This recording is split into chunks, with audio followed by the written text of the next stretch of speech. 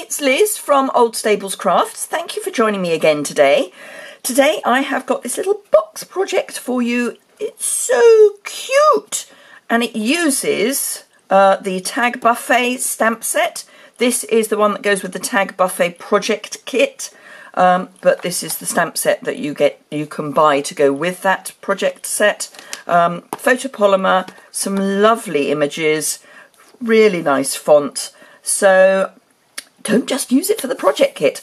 Um, this box measures two inches by three inches by one.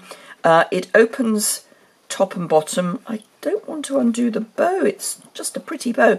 Um, but the one I'm going to make so this uses the Snowflake Splendor designer series paper and on Pool Party, and this is the Pool Party sheer ribbon from the Whale of a Time suite in the annual catalogue, and I just thought it all went really nicely together.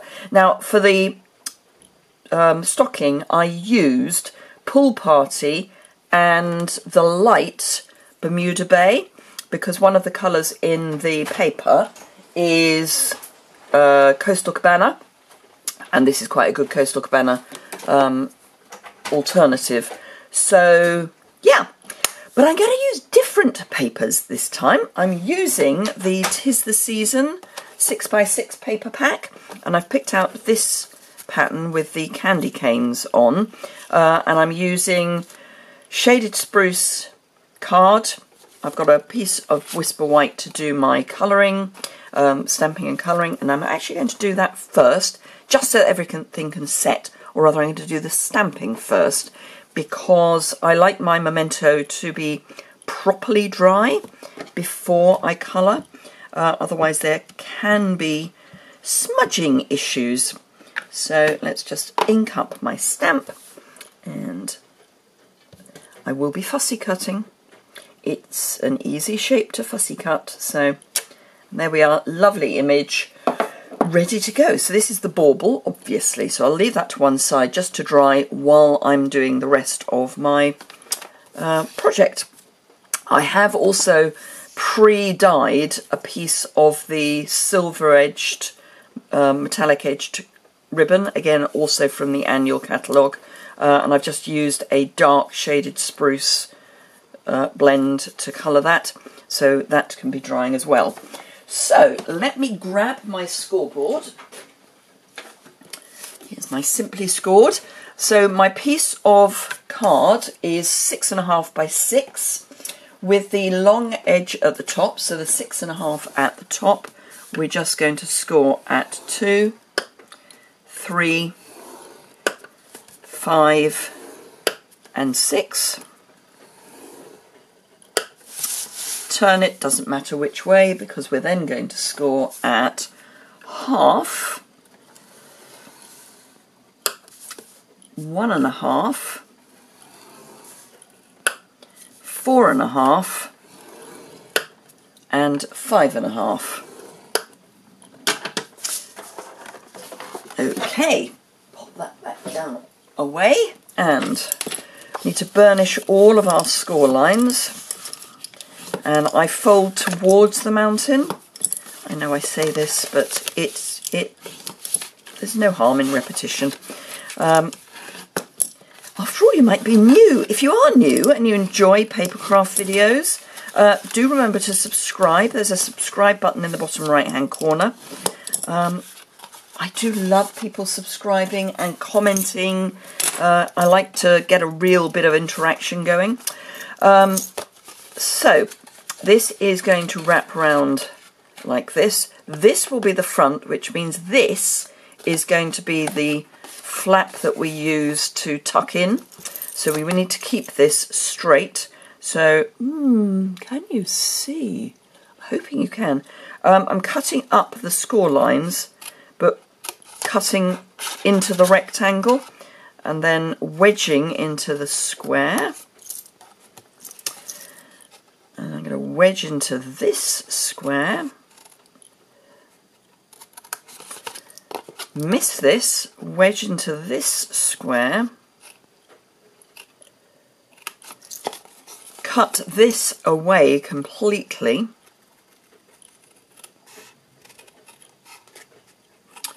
know if you can hear, there is rain. I'm filming this fairly early in the morning and it is raining hard. Um, anyway, we have worse to come apparently. Wedging into the other side of the square and then wedging there. Take off the fold or at the fold on the two small pieces. I've got a bit of a, got a, there we go. And then we're going to do exactly the same on the other side. So wedge wedge into the square, this being the square, this I'm ignoring this, wedge into the square, wedge into the square, cut away this piece,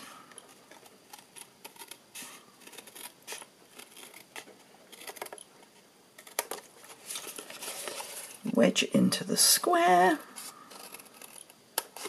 and then straight.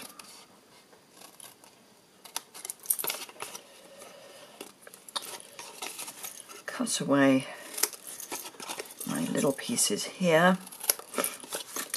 And this is the shape we are left with. So we've got the two flaps, top and bottom, and then these bits and our seam. Now I'm going to corner round my these. You don't have to corner round them. If you don't want a corner round or you don't have a corner rounder, just wedge very, very gently a small wedge out. But I like to um, I like to corner round. I have the trio punch, so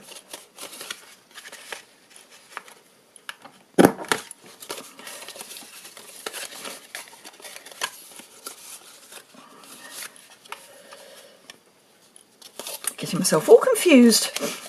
That's what I want to do.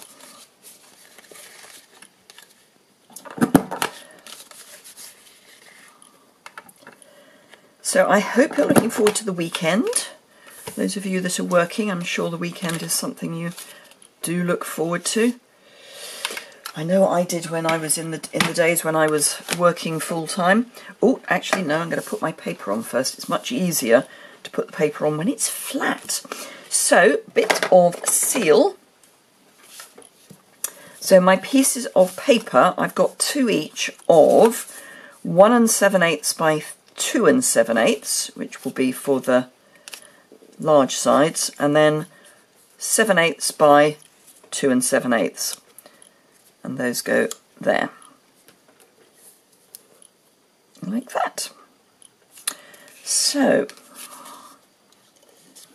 Let's just get this started. There we go.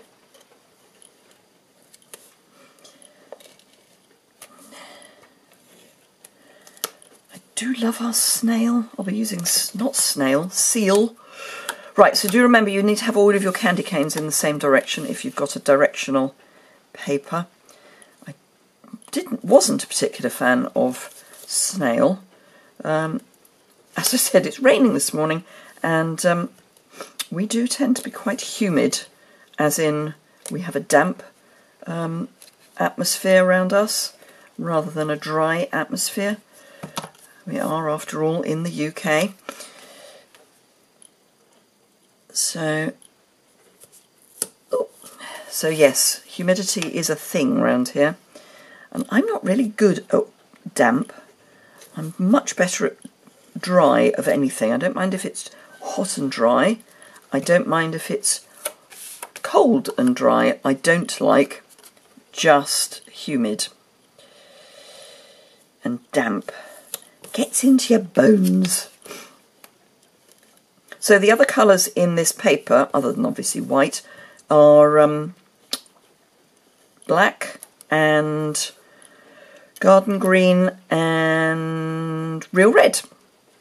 Because the red on the candy canes is cherry cobbler. So it's a really interesting mix of greens and reds.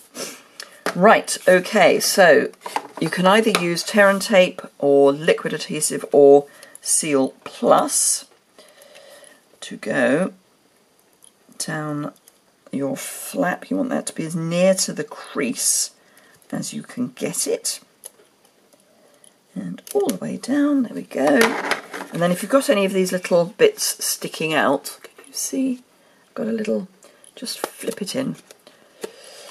And then lining up your score line and the edge of your box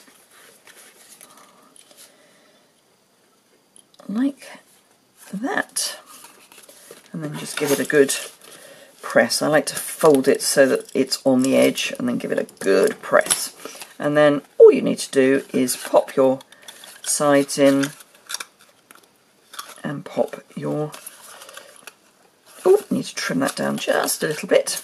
I do find sometimes you do need to just trim the edges a little bit. Yes, you see I haven't actually gone to the edge of the score of the score line there. I've left a bit of the score line on. So just pop that in like that. Now if you want you can just put a little nip with a small uh, circle punch so you've got a thumb hole. It's personal choice. I may have to trim this as well. No, that's better. I deliberately haven't done the top and the bottom with paper because that's where my ribbon's going and that's going on next.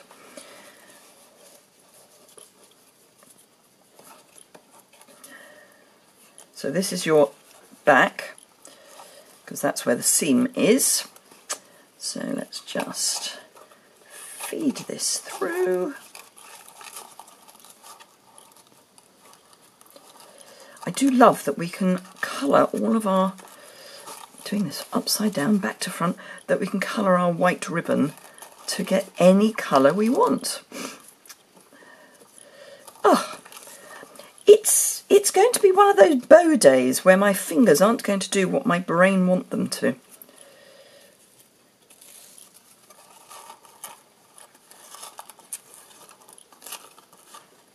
No, you see, I'm doing it wrong again. That's the way. That's the way.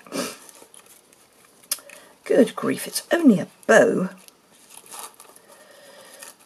And then just adjust my ends.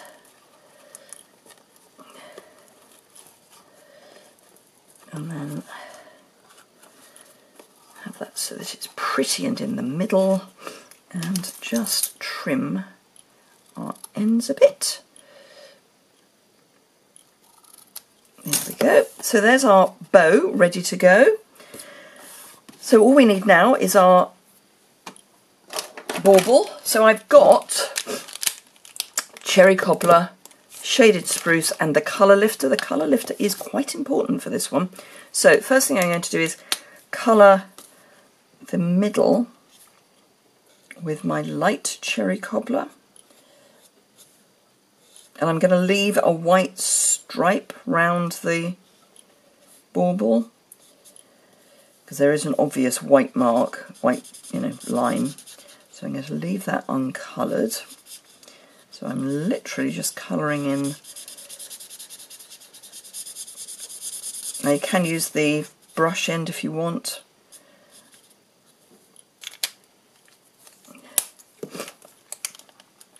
And then coming round, oops,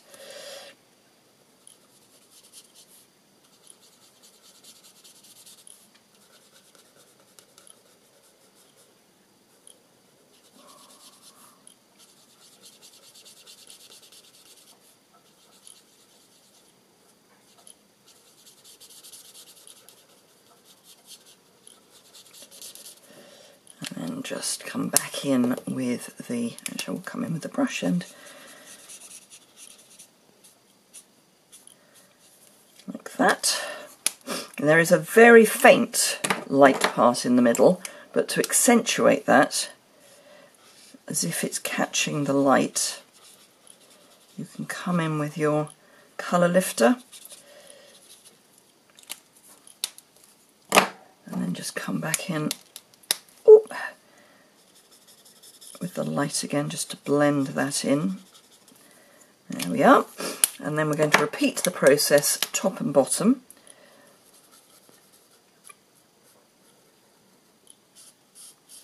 So light shaded spruce.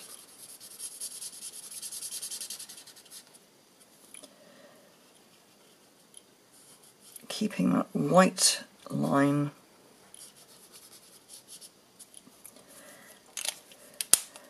Dark shaded spruce.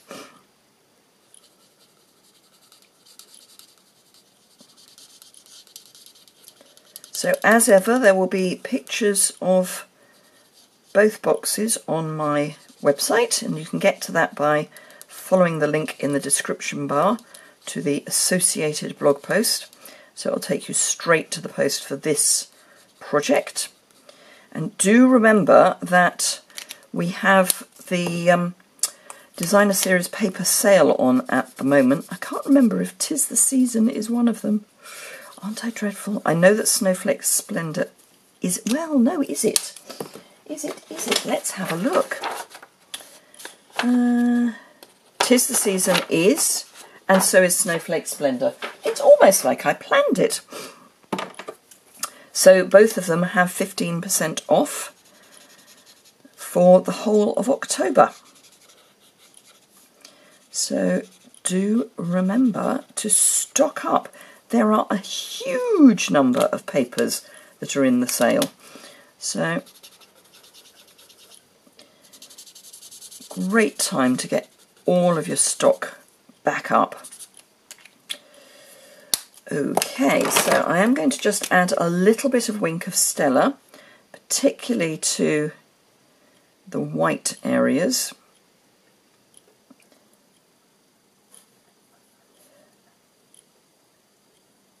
But also to the areas that I used the colour lifter on.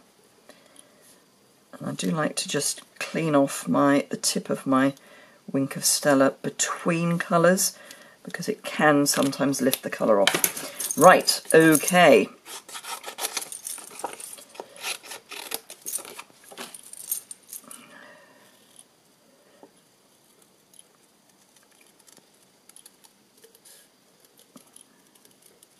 So yes, do please make the most of the Designer Series paper sale. If you're in the UK, there is a link to my online store in the description bar. I would be thrilled if you would try out my customer service. I've had some really wonderful testimonials from my customers saying how much they enjoy my customer service. So why not give it a go? Um, I only sell in the UK but I do have team in Europe as well. So if you are looking to buy the starter kit, you can join my team. So, right, one dimensional I think is all we need on the back of that, or maybe two. Let's be generous. And then we are done. So there's that one and that one. So there we go, two cute little boxes. I'm thinking of these for stocking fillers and you can put little sweets and things in. Jewellery, always nice in a small box. So yeah, let me know which one you prefer. Do you prefer the shaded spruce and the bauble or the pool party and the stocking. If you've enjoyed the video, please give it a thumbs up. And as I say, if you would like to subscribe, it's in the bottom right hand corner hop over to my website and you'll see a list of all of the products I've used as well as the dimensions. I will try, can't promise, I will try to uh, work out dimensions that will work for um, metric. So yeah, okay, thank you very much indeed for joining me again this morning and I look forward to seeing you again very soon. Bye!